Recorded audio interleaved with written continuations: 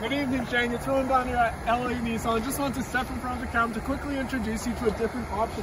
This beautiful 2012 Chrysler 200. Underneath the hood, you get that fuel-efficient four-cylinder engine. And coming on to the side, you can see you get practically brand new all-season tires there.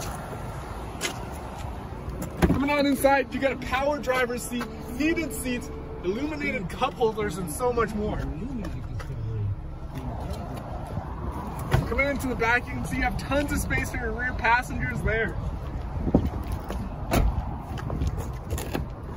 Coming into the trunk, you can see you have a massive trunk for your cargo. Xiang, I know you're gonna love this, so just give me a call myself or the store and see when we can book you in for a test drive. Oh, okay.